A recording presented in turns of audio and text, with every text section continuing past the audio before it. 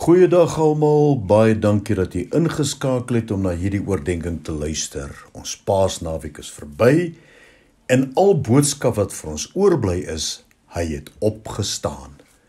Ons lees in Matteus 28 vers 1 en 2 die volgende en daar laat na die Sabbat toe dit begin lig word, teen die eerste dag van die week kom Maria Magdalene en die ander Maria om na die graf te gaan kyk.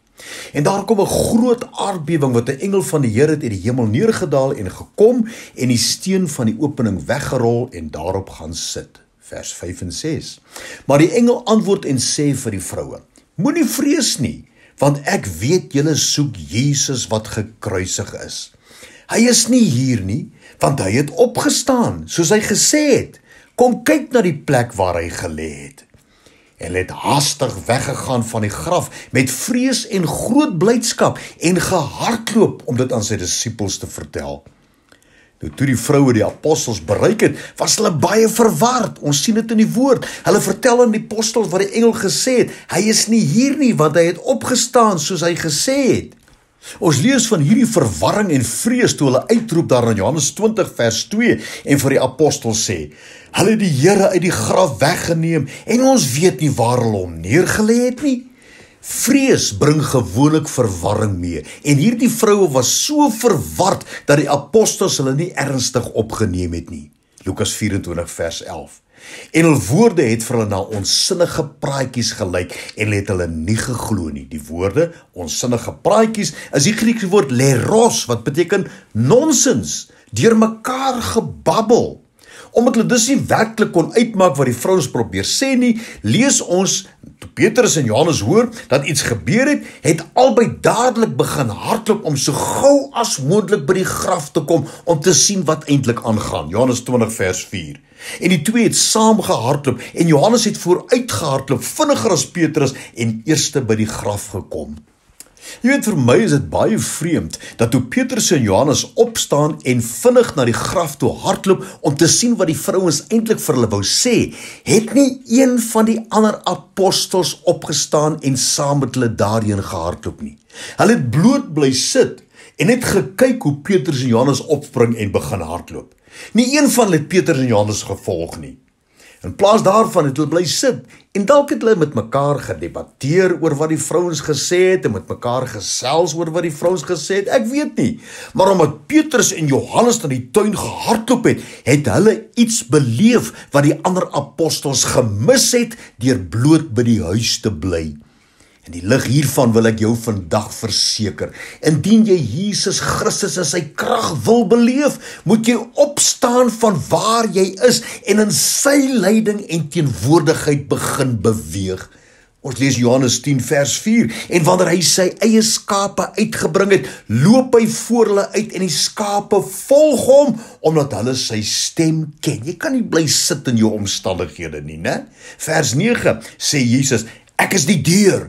As iemand deur my ingaan, sal hy gered word en hy sal ingaan en uitgaan en veiding vind. Kan jy sien, hier is gedurig beweging in hierdie twee verse.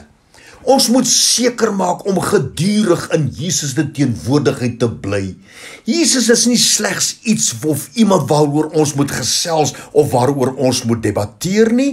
Ons moet net praat oor die wonderwerke en wonder oor die wonderwerke nie. Ons moet dit begin beleef. Ons moet uit elke omstandigheid van onsekerheid opstaan en na hom toe hardloop met mening.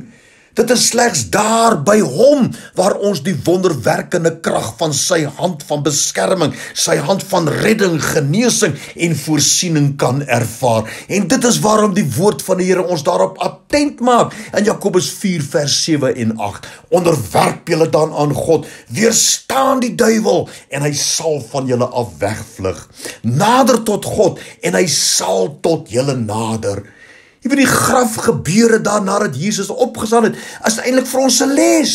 Ons moet nie sit waar ons is nie, ons moet opstaan en Jesus in sy verreëse krag en heerlikheid gaan soek in ons lewens. Dit is slegs indien ons opstaan vanuit ons wanhoop, ons vrees en twyfel en sy teenwoordigheid vasgryp dat die beloftes van Psalm 91 vir ons in vervulling kom. Vers 1: Hy wat in die skuilplek van die Allerhoogste sit, sal vernag in die skaduwee van die Almagtige. En dan op hierdie plek waarheen ons hardloop, die wonderwerkende krag van God vers 3, want hy is dit wat jou sal red uit die net van die voëlvanger van die verderflike pes. Vers 4, 5 en 6. Hy sal jou dek met sy vlerke en onder sy vleuels sal jy skuil. Sy trou is 'n skild en 'n spanser. Jy hoef nie te vrees vir die skrik van die nag of vir die pyl wat bedags vlieg nie, vir die pes wat in die donker wandel of vir die siekte wat op die middag verwoes nie, want U Here is my toevlug vers 9. Die Allerhoogste het jy jou beskutting gemaak.